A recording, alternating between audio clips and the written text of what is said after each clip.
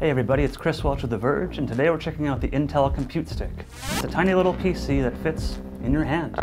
So as the name suggests, the Intel Compute Stick is a $159 Windows PC. The idea is you bring your own display, be that a TV or some old monitor you've got sitting around, plug it into the HDMI port, and what you end up with is a full Windows machine.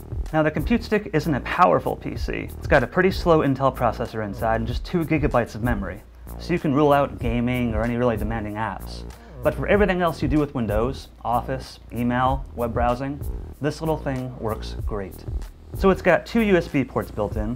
One of those is USB 3, so you can plug in any accessories that you might have.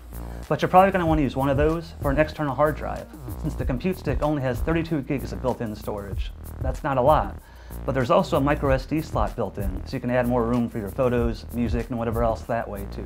The Compute Stick works with Bluetooth keyboards and mice, freeing up those USB ports for other stuff. And the Wi-Fi is really fast. It's got 802.11 AC, so that's good enough for HD movies and even Xbox games. So remember how I said the Compute Stick isn't powerful enough for playing games? It's pretty good at streaming those games from an Xbox already in your house.